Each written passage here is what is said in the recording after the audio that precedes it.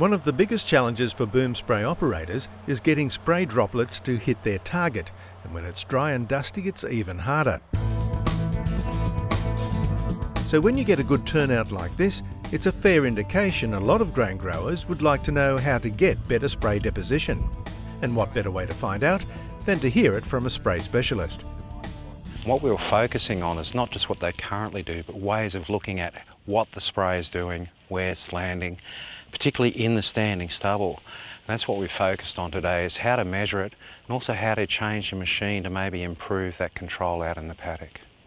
Bill Gordon is contracted by GRDC to provide training on spray application and drift management.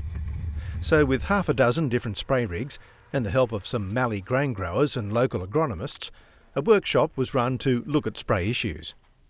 Guys that uh, have been noticing a, a, decline in their spray application and probably been um, brought about a little bit with uh, more uh, SP um, sprayers, self-propelled sprayers in the region. So we're just noticing a little bit of a decline in, in our um, in our application uh, efficacy, and uh, so we, we really jumped at the chance to get Bill along. After covering the basics in the shed, the paddock was the next stop.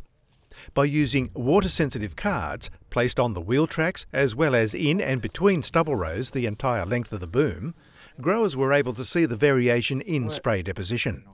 And so if we've got it right out in the boom, in terms of droplet size and volume, that's a great indicator.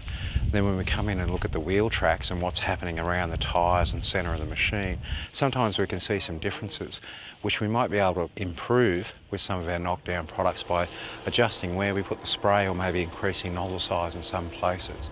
Getting the spray to hit where you want is especially hard behind the wheels, and it's made even more difficult when there's dust. Most growers generally put an extra um, nozzle or a larger nozzle behind the tyre.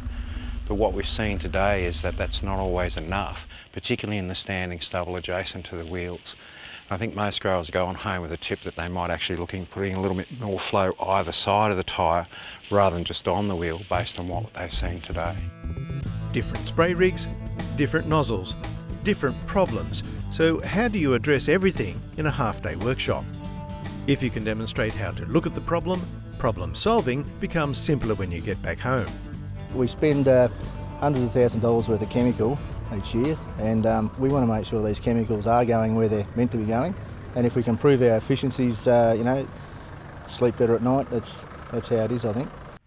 Summer Fallow provided the example for this workshop but the same techniques apply for assessing spray deposition before spraying weeds in crop or applying fungicides or insecticides. And these are the sorts of things being included in a spray application ebook Bill Gordon is coordinating. We've gotten together the leading experts in the country to all contribute towards, I think it's about 25 modules now, on different aspects of spraying and, uh, and on the equipment as well. And assessing deposition will be one of those, but we'll also be looking at um, the technical side of spraying.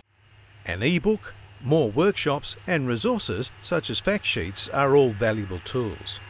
And as spray application is a core practice in today's farming systems, providing such tools is definitely a proactive way to help grain growers adopt best practice. Spray application uh, extension is quite important and with Bill's extensive knowledge I think it's a great investment to make.